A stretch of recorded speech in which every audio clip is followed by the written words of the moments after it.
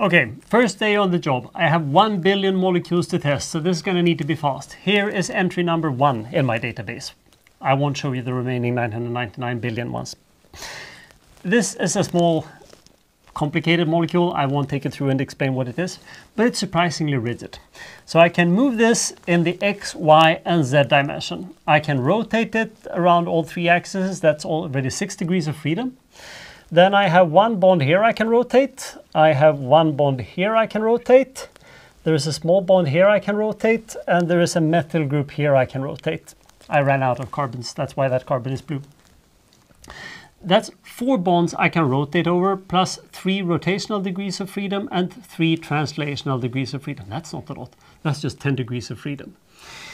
But if we start doing the math here, if I need to test things over, say, a few angstroms, and I need to do the translation in, say, half an angstrom step, and then I also need to sample each rotation in, say, 10 degrees, I'm going to end up with the same problem as I had with Levinthal here.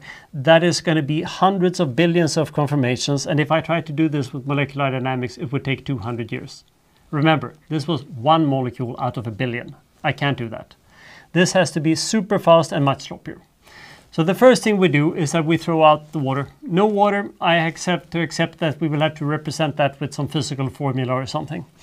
Uh, I will have to accept that I can't move my target protein. That's going to have to be a rigid receptor. I know that's incorrect. That means sticking to an exact lock and key hypothesis rather than induced fit.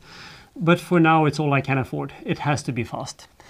Second, maybe I don't need to test with 10 degrees. Maybe I could start by moving 60 degrees at a time or so.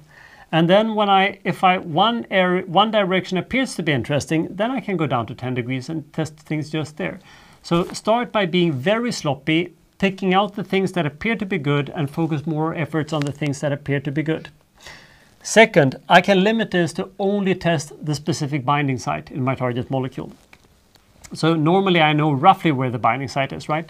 And this means that I now, it is actually the same molecule, uh, that way. Uh, then I only need to move this a few angstrom and rotate it a little bit around the binding site because the binding site might also be limiting so that I can't move it 360 degrees around. The way we normally do this in a so-called docking code, and you're going to be playing around a little bit with one of them in homework task three, is that we define some sort of grid, a very narrow region. This is just the region we want to test. And either I might try to build the molecule in here, or I have some very rough, say, Lennard-Jones sphere to determine roughly how much size it is. Will the molecule I had even fit there? If it doesn't fit, just discard it. There's no point wasting any time on it. I can try to score things very early on the basic, how hydrophobic is this molecule? Is it a hydrophobic binding site? Okay, it's worth looking a little bit more in detail. Hydrophobic molecule, hydrophilic binding site, don't bother, throw it away. You could even imagine calculating a grid so that we don't have the water and everything, but in theory I could take my molecule and define some sort of grid cells and put a property in all grid cells. What do I mean by that? Well, let's say that I have a large protein here and this is my binding site. There is lots of hydrophobic polar groups, um, maybe a positive group there, a negative group there, etc. Another positive and negative group. But maybe I can define a grid around this binding site.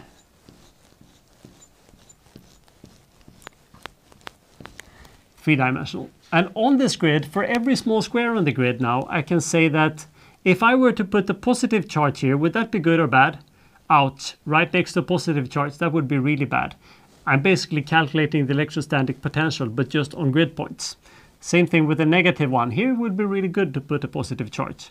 And then I could add some sort of property for hydrogen bond donors or hydrogen bond acceptors. Same thing with hydrophobicity or Lennard-Jones interactions, right? I can tell you, is, is this full of something already? Is the volume available here or not?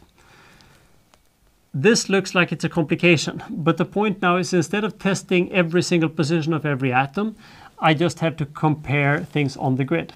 And it turns out that we can even do that with fast Fourier transform methods. So I take my small molecule, push it through a fast Fourier transform, and then immediately compare the entire grids without having to make all the actual rotations and translations. So this is super efficient. In docking, I can frequently test both 1,000 and 10,000 molecules per second. On one computer.